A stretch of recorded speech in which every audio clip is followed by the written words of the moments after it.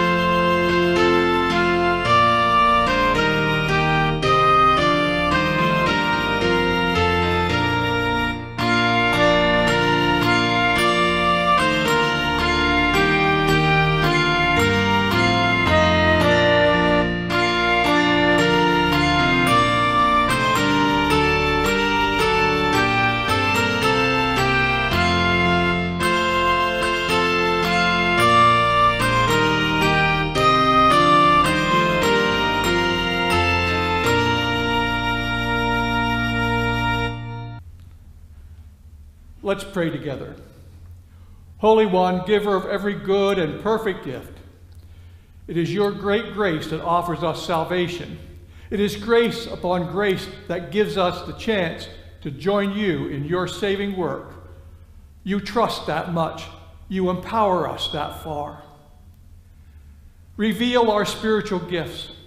Reveal our calling in this time and place so that we may fulfill it together so we may fulfill it for the common good, so that we may honor you and one another.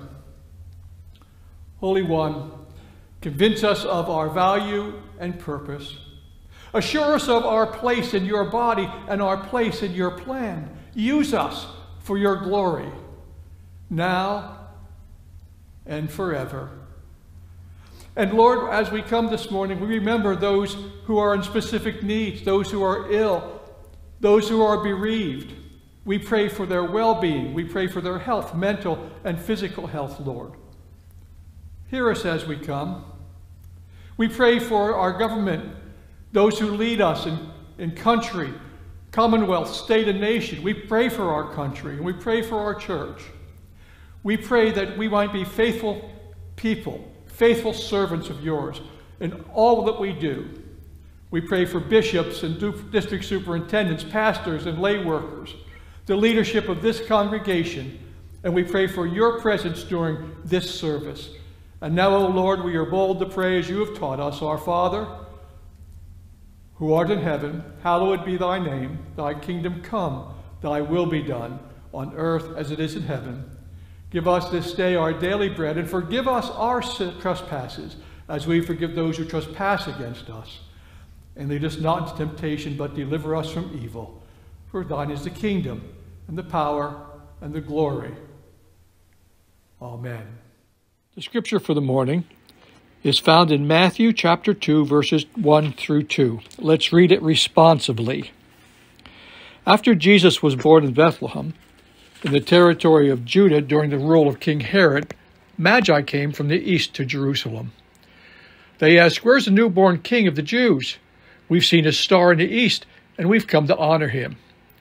When King Herod heard this, he was troubled, and everyone in Jerusalem was troubled with him. He gathered all the chief priests and the legal experts and asked them where the Christ was to be born. They said, In Bethlehem of Judea, for this is what the prophet wrote You, Bethlehem, land of Judah, by no means are you least among the rulers of Judah, because from you will come one who governs, who will shepherd my people Israel.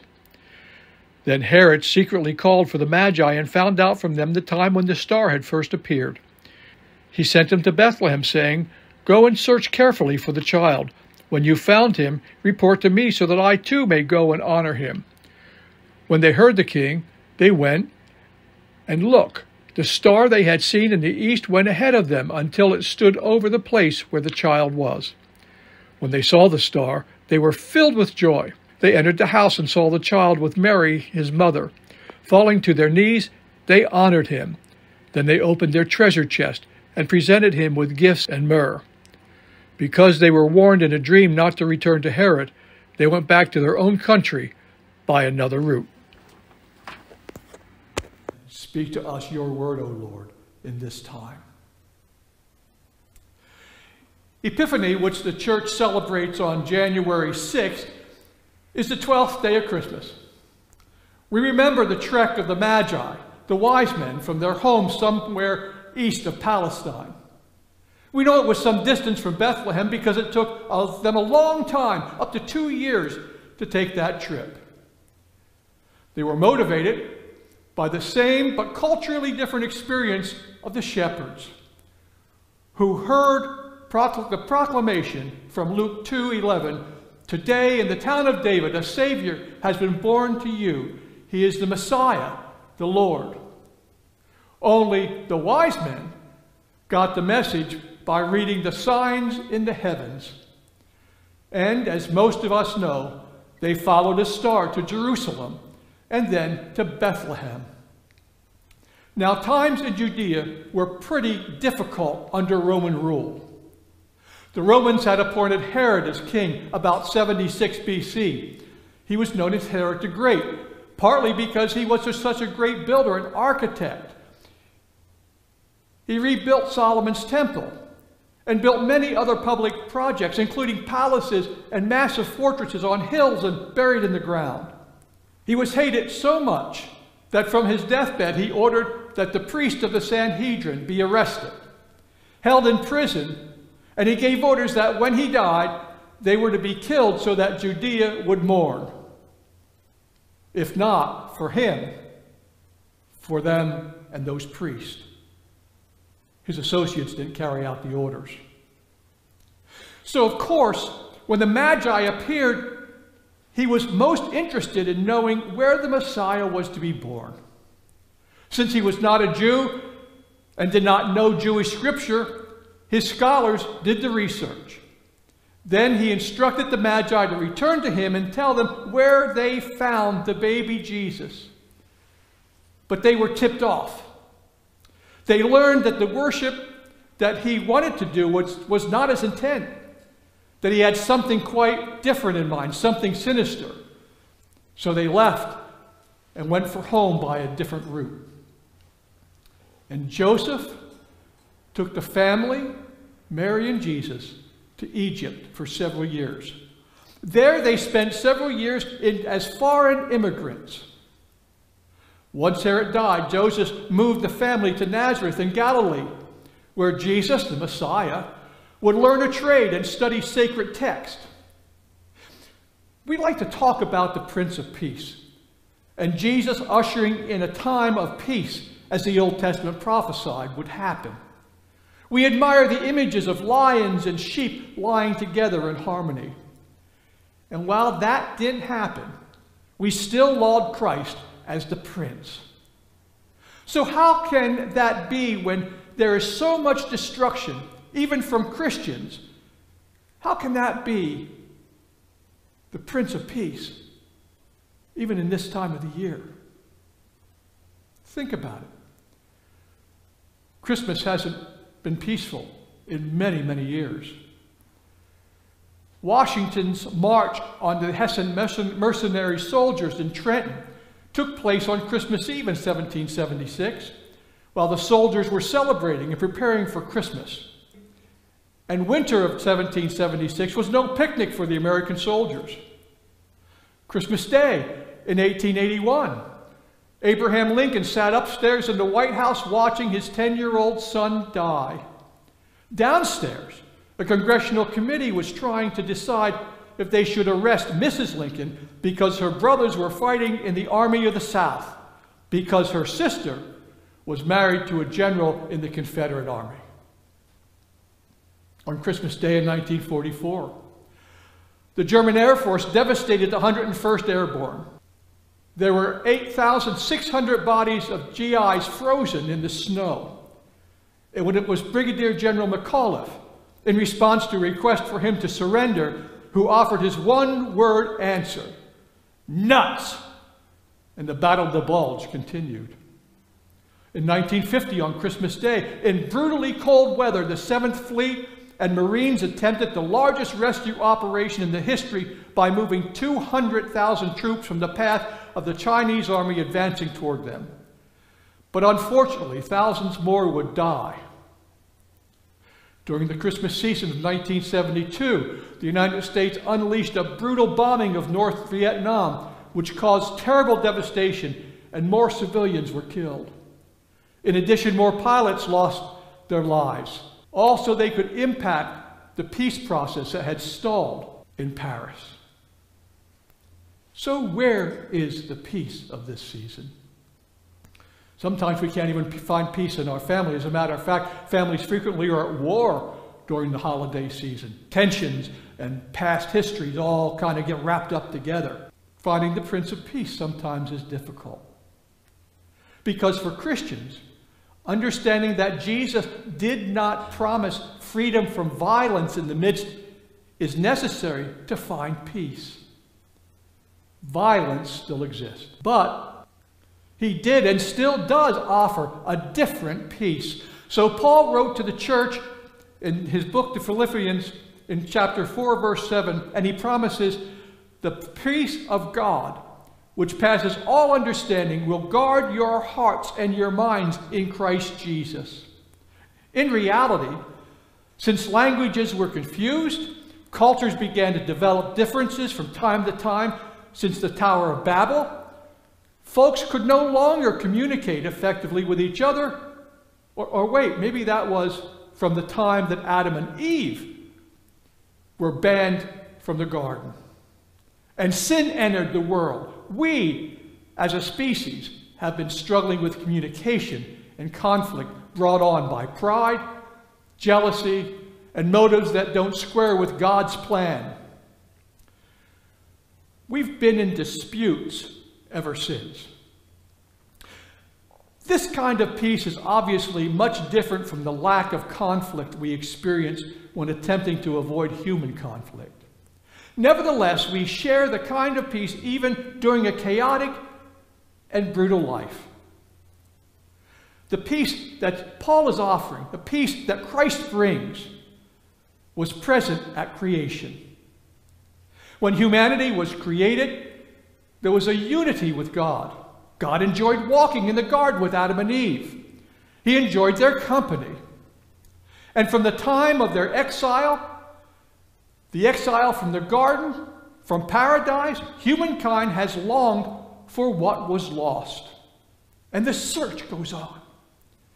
We try meditation. We consult practitioners of Eastern mystic religions, witchcraft or voodoo. We try to negotiate it even with God, but the peace we seek eludes us. Dissatisfaction overwhelms us. Though we continue to look for it, the very place where we can find and experience that kind of peace in unity with Christ, we can't find it. But we do seek a deeper relationship because we don't want the cost. Andy Stanley says peace is a fruit of the Spirit, not a byproduct of accumulated wealth. But more of us spend our lives amassing wealth material possessions, or power because we want the security that having those things brings. As a result, we look for peace in unusual places bars, political groups, gangs, families, fraternal groups, even church groups. But peace comes to us when we understand who we are, of our place in the world, and in our relationship with God. It's in the relationship with God that is truly transforming. When we have that relationship, we become different people. That's what we talk about when we talk about salvation.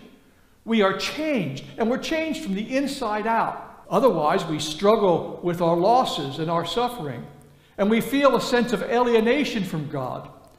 Henri Nouwen says, he says, of the deepest truth is that our human suffering need not be an obstacle to the joy and peace we so desire, but can become instead the means of it.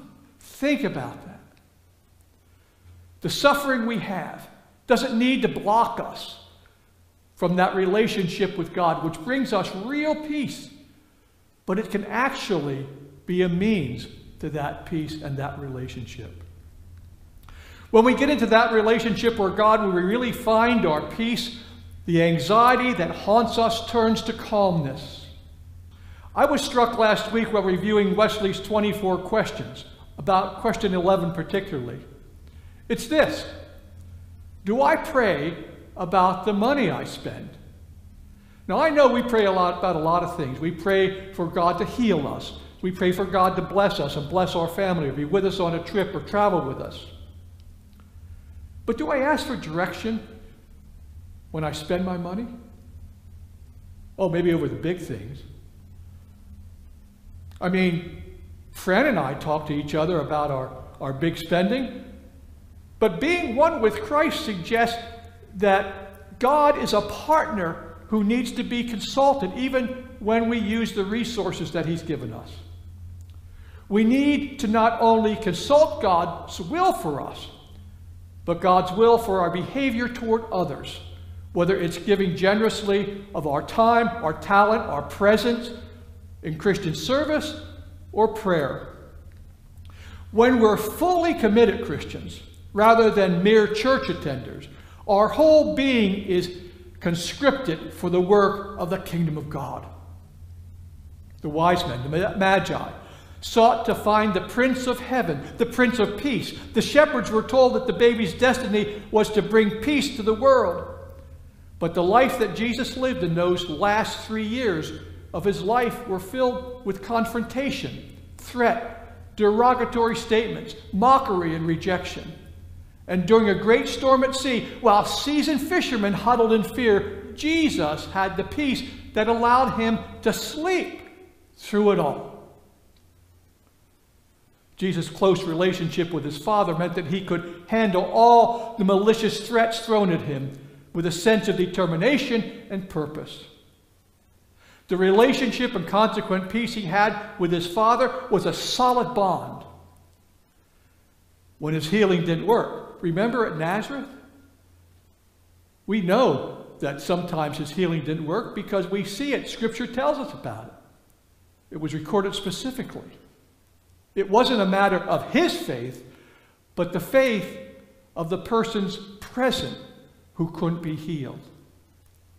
Remember, not only was he threatened with stoning in his hometown of Nazareth, but when things turned sour, the people, his friends who watched him, their lack of faith meant that he could perform no miracles.